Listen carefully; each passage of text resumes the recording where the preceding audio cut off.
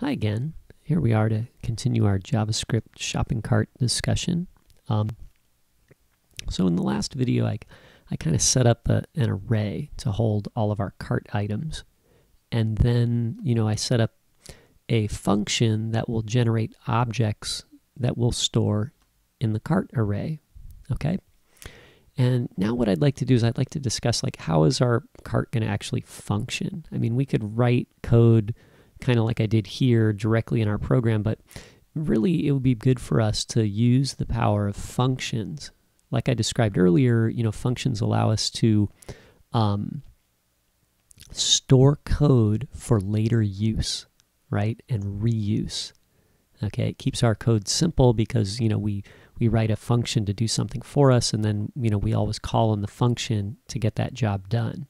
We don't write the code inside the function over and over again. And if we do, we should realize that, hey, we should make a function out of that so we can reuse the code, right?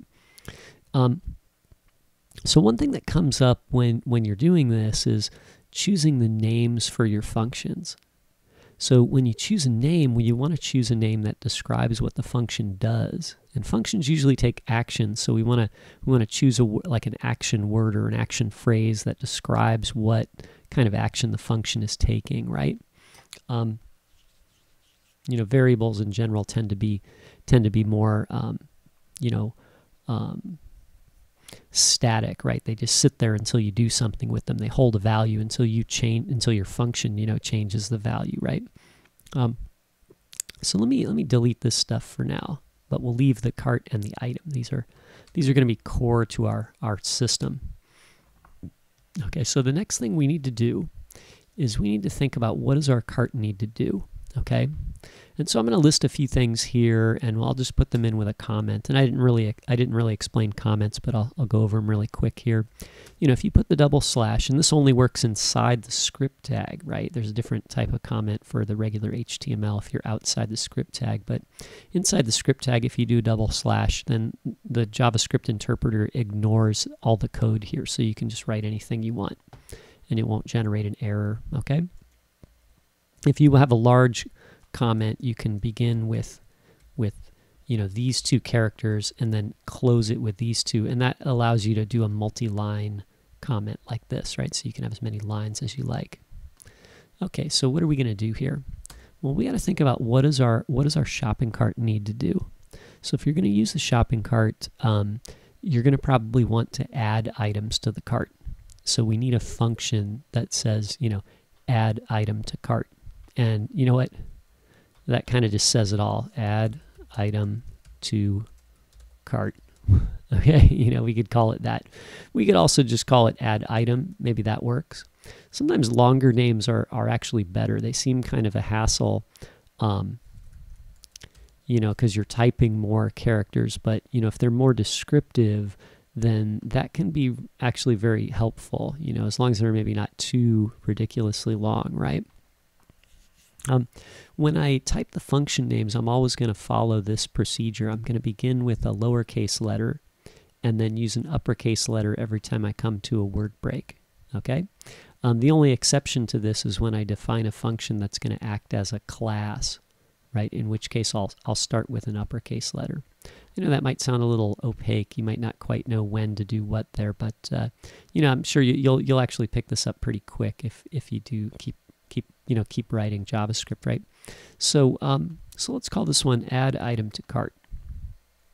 So we're going to just kind of comment in the functions that we want to create here first, and then we'll write them later.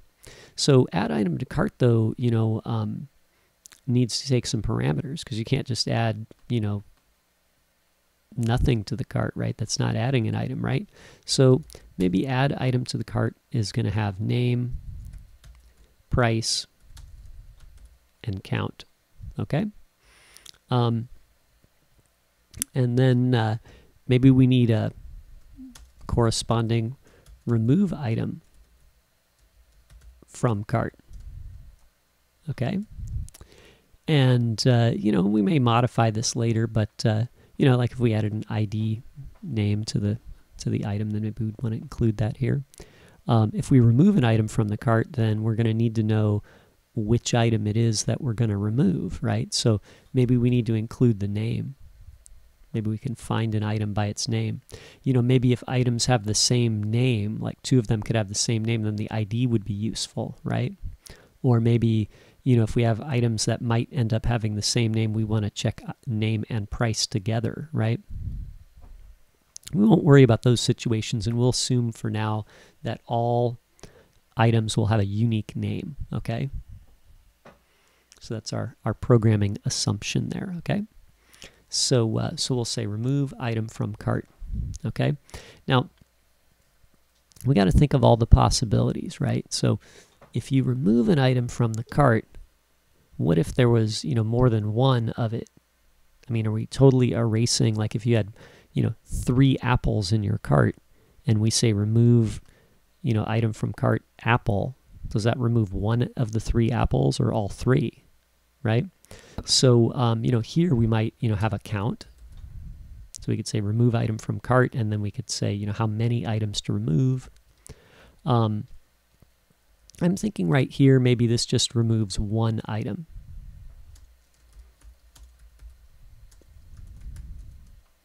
Okay, right? Um, and then maybe maybe we'll make um, we'll make another function that just removes, you know, all of that particular item from the cart. Um, let's call that remove item from cart all. And this one will still need to know the name. Okay?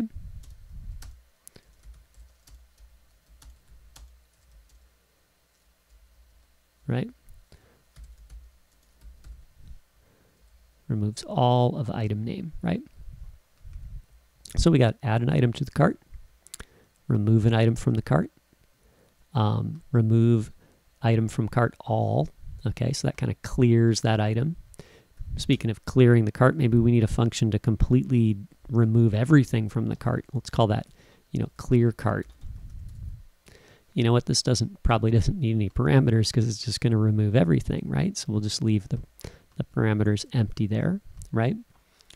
Um, what else do we need to do? Maybe we need to um, count the cart.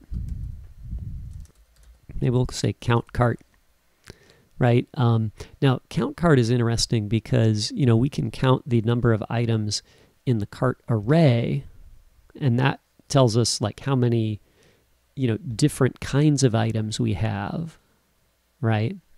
But, you know, what if we had three apples and two toothbrushes? Like, you know, the, the number of items in the cart array will be, you know, two but we actually have five items in our shopping cart. So maybe Count Cart needs to look at each item in the cart array and then total the counts for each of those items, right? Okay. Um, so there we go. We can count the cart here, right?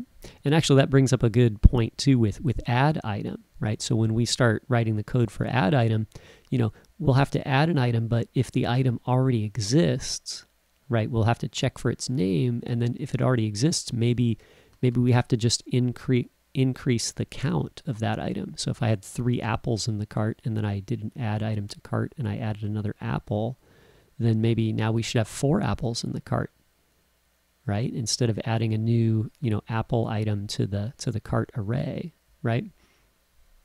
Okay, so what do we got here? We got, uh, you know, add item to cart, remove item from cart, remove all of a particular item from the cart, clear the entire cart of all, everything, right?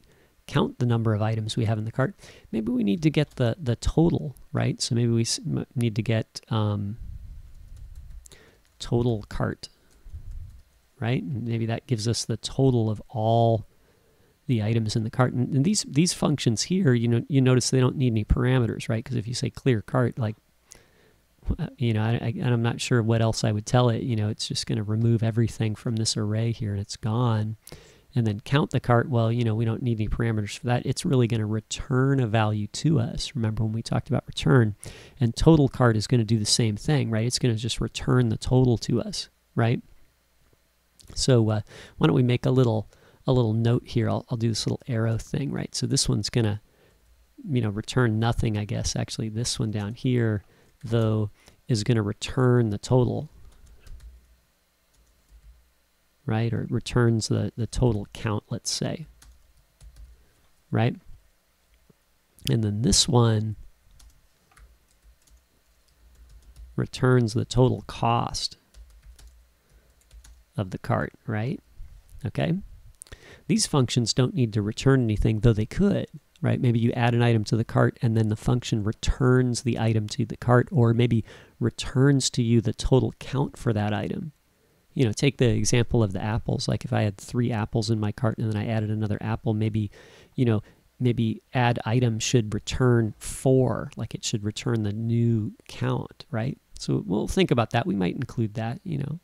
Um, you know, and if I don't include it, you can try and include it on your own or add your own features here, right? Okay. So, uh, so anyway, so that's getting us started there. Let's talk about a couple other functions we might add, right? So we got, uh, you know, um, clear cart, count cart, total cart. Maybe, you know, we want to display the cart on the page, so maybe we need a function like list cart. And maybe this function, you know, returns an array of all items, right?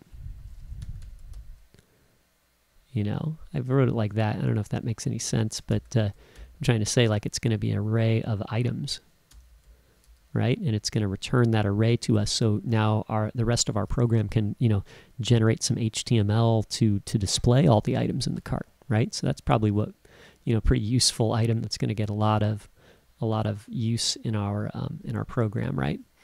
Um, what else are we going to do?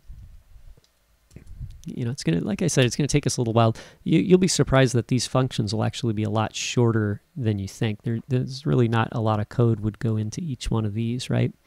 They'll be pretty short. Um, you know, but we, are trying to be thorough here too, right?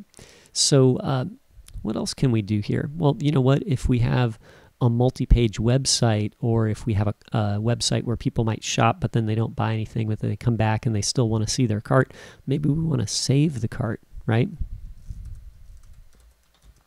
we could use local storage to save it right local storage is sort of like a, a cookie or a way to save you know information locally on the computer i mean you might get more complicated and save your stuff to the database so if someone logged in on another computer they'd still see their cart you know for this we'll just use a local cart, right? But you could extend that later. So maybe we'll save the cart there. Um, well, if, you know, if we, if we save the cart, right, we'll probably need a function to load the cart, right? So, you know, if we save the cart to local storage, maybe we need a function that when you load up the page, when the page loads, it immediately looks for the cart in local storage, and if it sees it, it loads it, right? So then you can see it on the page, right? Okay. Um, you know, so I think that's pretty thorough there. Maybe that gets your brain thinking about what's going to be involved with all this code that we write for the cart, right? So, you know, we'll just put all this stuff here and then maybe we'll go over each one of these comments and we'll we'll build the function for it in, each in there in a video in the future, right? So, we'll just stop here and I'll let you guys think about that, okay? Thanks for watching.